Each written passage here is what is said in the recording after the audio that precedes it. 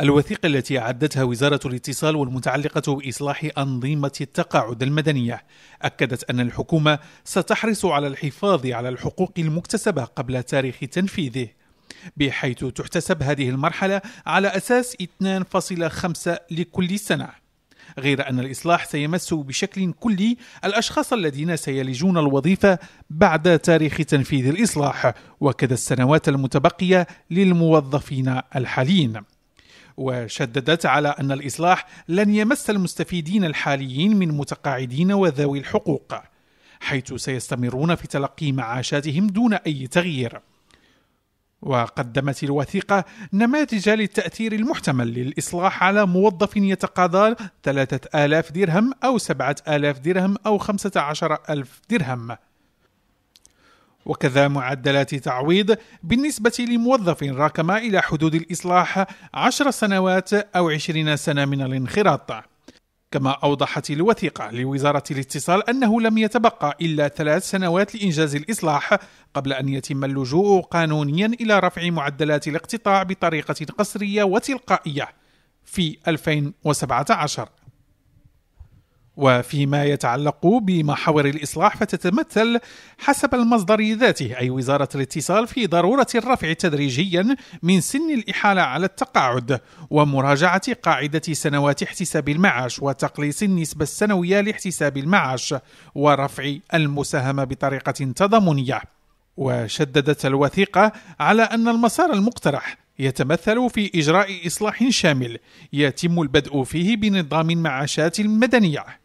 مشيرة إلى أن الإصلاح سيمكن من تأجيل تاريخ بروز العجز بثمان سنوات إضافية ابتداء من سنة 2022 مما سيسمح ببلورة إصلاح شامل وملائم لأنظمة التقاعد كلها.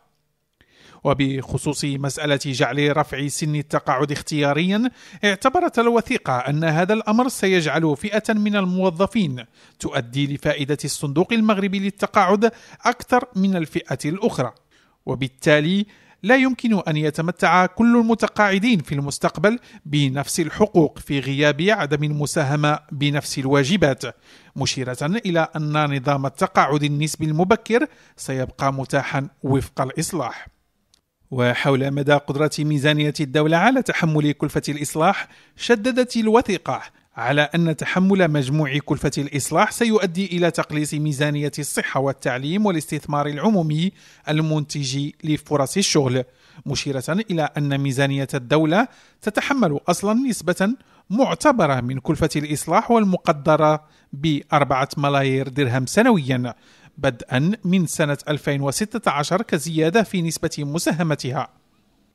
وبحسب الوثيقة كذلك تعود أسباب أزمة نظام المعاشات المدنية أساسا إلى طريقة احتساب التقاعد بحيث يتم ذلك بضرب عدد سنوات الخدمة في نسبة 2.5% من آخر أجر محصل عليه.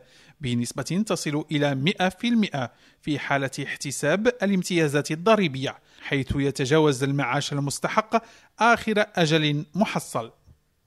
وقد كان تطبيق هذه الطريقة ممكنا في السابق عندما كان هناك 12 منخرطا مقابل متقاعد واحد.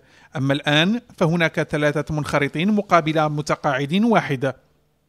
وبالتالي أصبح تطبيق هذه الطريقة اليوم غير ممكن لأن المداخيل لم تعد تغطي النفقات كما تشير الوثيقة إلى أن نفقات التقاعد انتقلت من 435 مليون درهم سنة 1986 إلى 14 مليار درهم سنة 2013 وذلك لفائدة 280 ألف متقاعد.